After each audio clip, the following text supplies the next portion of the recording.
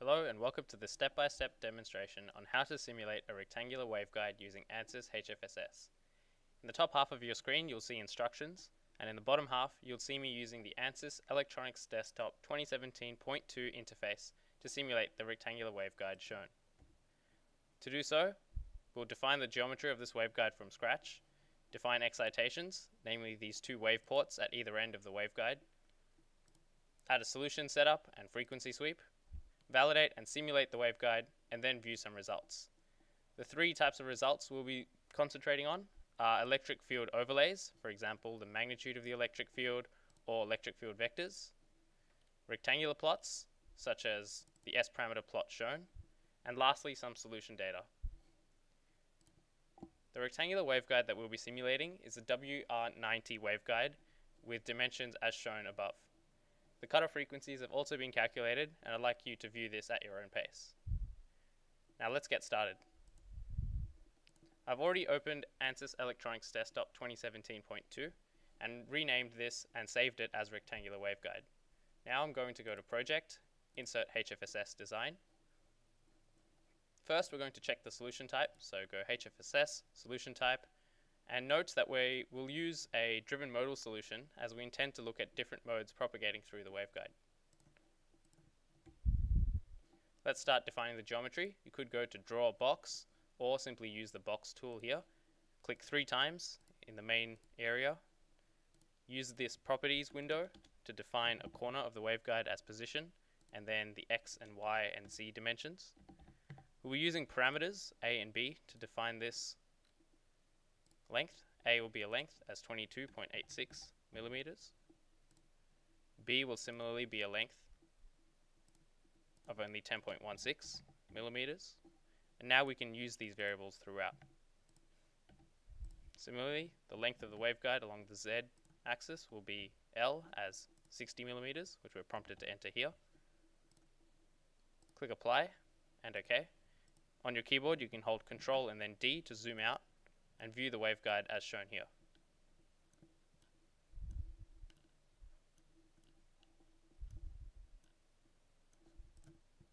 Now let's give this wall a thickness to be more realistic for the waveguide. To do so, I'm just going to reuse this box. We're going to use it many times. So we can go Control C, Control V to copy it and automatically create box 2. Click on box 2 to, to bring up this attribute tab. Rename it as metal and give it the material copper search for copper, click enter, hit apply. You'll now see this metal box under the material copper. Now let's change its dimensions by getting to the command tab by double clicking on create box. And here let's give this box, give this waveguide a thickness, which we'll denote by TH. We're prompted to enter what the value of TH should be. Again, TH will be a length of 0.2 millimeters. Now let's give this thickness to the x and y dimensions.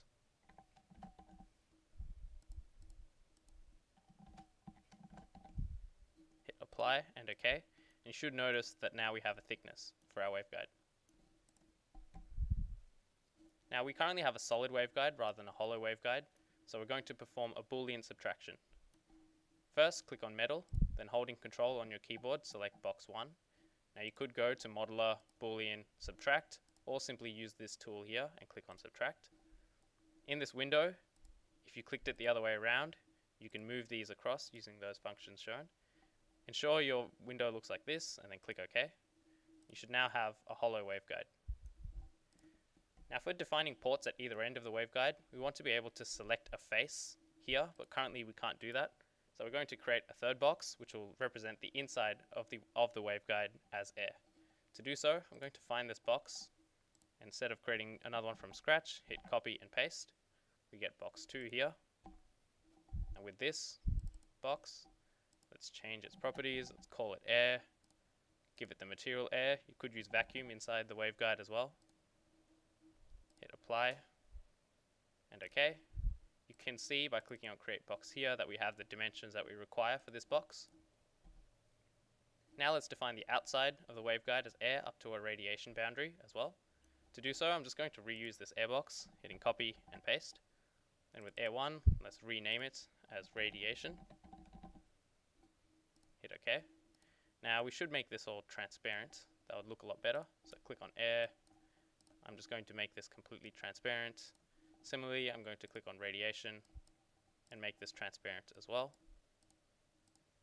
Now with this radiation box, which we currently can't see as a separate box, we want to give a 5 millimeter padding in both the positive and negative direction of both the x and y axis.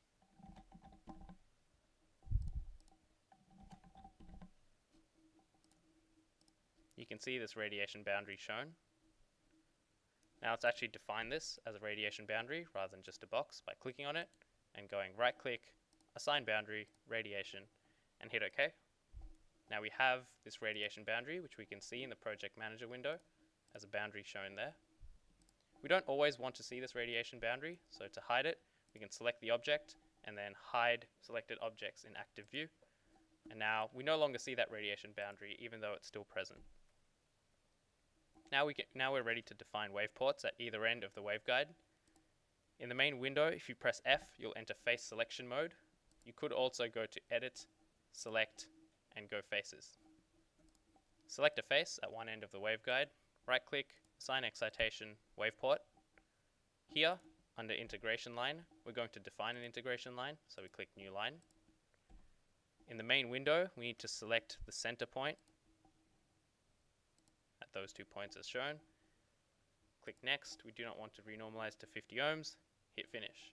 In the project manager window under excitations, you should see that we have this port defined. We could simulate for only one mode, the TE10 mode, but we're going to simulate for more than one mode, so we can change that to 4. Don't need to redefine any lines, click OK. Now let's perform similar steps at the other side of the waveguide. Again, select the face, right click, assign excitation, wave port, new line. We need to pick the right points. You'll see this triangle pop up when we hit the right point. Zoom in just to make sure we're at the inner wall. Hit OK, it should come up as defined. Click next and then finish. Now we should have our two ports as shown. Just going to zoom out. Let's ensure that the second port can also handle four modes. Click OK. You can view these helpful hints to help you define these wave ports. I'd like you to view them at your own pace. Now let's add a solution setup. So we right click on analysis and go add solution setup. Should see a window like this. Let's change the frequency to 10 gigahertz. Change the maximum number of passes to 12 so the meshing will be appropriate. We're just going to go with the default settings. Feel free to view other solution setup settings here. Now to the solution setup, let's add a frequency sweep. So right click and go add frequency sweep. Here, let's make this a discrete sweep.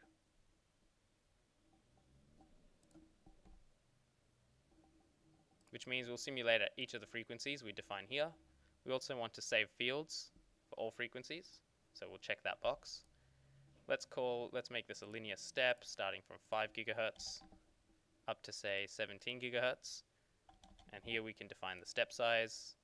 0.02 gigahertz would be fine, but I'm going to make this a coarse simulation just to make it quicker here. We can also add other points. So say I clicked add below, and I change this to linear count where we define the number of points that we're defining. If we just make that 1, we can define just one frequency, for example 6.56 gigahertz, which corresponds to the cutoff frequency for one of the modes that you'll see previously. I won't do the others, but feel free to copy the instructions as shown. Hit OK. Now we're ready to simulate the waveguide. We'll perform a validation check.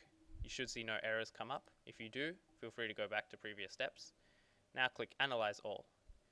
In the bottom right corner, you should see progress for your simulation. And once your simulation is complete, you'll be ready to view some results. Now that my simulation is complete, I'm ready to perform some post-processing. I'll go through this quite quickly just to show you the, some of the types of results that you can display. The first is a port field display, which can show you the electric field vectors at the ports that you've defined. For example, if we go to mode 1, you can see that this is consistent with the TE10 mode, with the maximum magnitude in the center and minimum on the sides, tracing one half sine wave variation, as shown. This is consistent with the TE20 mode with the magnitude of EY component shown, tracing two half sine wave variations. Mode 3, consistent with TE01, and I'd like you to view the others in your own time. The next type of results that we're going to look at is not just at the ports, but along the length of the waveguide, and we're going to show the magnitude of the electric field vectors at various points. To do so, click on Air, right click, Plot Fields, E, and Mag E. Here you can set this up, so you can choose a frequency. For example, if I went for a very high frequency, like 17 gigahertz, and if I get rid of the port field display, I focus here, let's get rid of this metal object, as I say that you should probably do to specify the view on this slide. So let's do A. First, select the object, so enter object selection mode by pressing O. Select the metal object and hide it from your current view.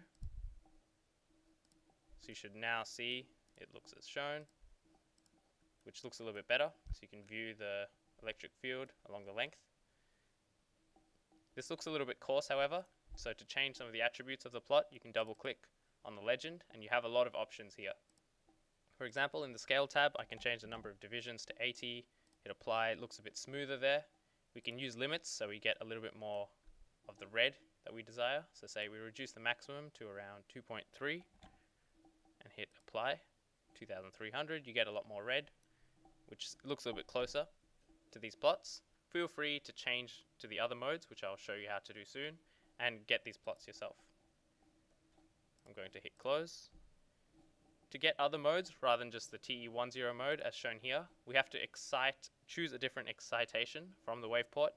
To do so, go to HFSS, Fields, Edit Sources, and here you can see which port and which mode is being excited. So currently we have the first mode from the first port. Say we wanted to view the second mode, we could change it as shown. So the second mode excited from the first port, hit apply, and you will see the plot has changed as shown. You can change the limits, etc. yourself. Instead of just the magnitude of the electric field, we can see the vectors, electric field vectors, along the length of the waveguide as well. Before I show you that, I'd like to show you how to access the overlay in field overlays. So if I right click on it, I can toggle the visibility of the plot. I can also animate this field. If I clicked animate and OK, you can see an animation which you can speed up as well show the electric field magnitude for different phases. Going to close that. Now let's get another overlay. So we right click on air, plot fields, E, but this time we select vector E. Similar story, we can pick frequencies, going to hit done. Since I picked 10 gigahertz, which is below the cutoff frequency for the second mode, we don't see a very strong number of fields here. Let's bring back the metal object, hit show, and with this metal object, let's make it transparent. So you can see that because we've picked a simulation frequency of 10 gigahertz below the cutoff frequency, we don't get very significant propagation. If I go to fields, edit sources to get the first mode again, hit apply, you can see now we get electric field vectors propagating along the length of the waveguide.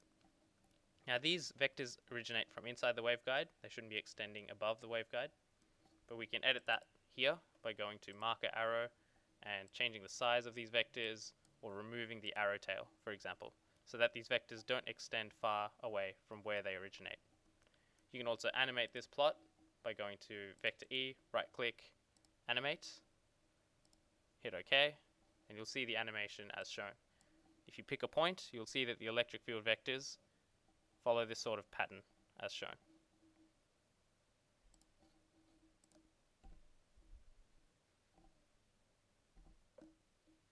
Next, let's get some rectangular plots. To do so, it's very simple.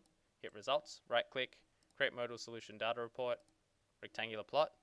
Here you can choose the type of parameters you want to view. For example, if I wanted to get the propagation constant for the first four modes, just the imaginary component, so just getting beta, the phase constant, and click New Report, you can see a plot like this one come up, which is similar to what I show on the very next slide. here, where we see the cutoff frequencies and we see beta for all of those frequencies for different modes. Similarly, we could click results, right click, create modal solution data report, rectangular plot. We could get voltage standing wave ratio or S parameters. For example, if I wanted to get S12 for the first mode, I could get S12 for the second mode, S12 for the third mode, and S12 for the fourth mode, and click New Report. You can see this plot, which is similar to the one shown above. In this plot, I'm just going to show some of the features. You can add markers, for example, add X marker. If you drag this across, you get values for all of your plots at whichever frequency you choose. You can add a specific marker at a point. If you just click there, you'll see it comes up as a marker. You can do that for the other points, and you can also go add note and add some text. For example, if I was to say TE10 cutoff frequency and add this to the plot, I could move this where I want it as well. The very last thing I'd like to show you quickly is that you can access the solution data directly to answer the question, how do we tell if a mode really propagates? Right click on results, go to solution data, you should see a window like this one pop up. If I go to matrix data, rather than viewing the convergence or mesh statistics, and I picked a certain frequency, for example 16 gigahertz, I chose to see the propagation constant, both the real and imaginary component for different modes for that frequency. Here you can see that the alpha constant is almost zero for the first three modes, which shows that we have that these modes will propagate with very little damping. However, for the fourth mode, we have a very high alpha of 44.7 neper per meter, which indicates that this mode will not propagate very well at this frequency, which is consistent with the theory that we, would, that we introduced at the start of this tutorial. Hope you had fun with this presentation, and thank you for watching.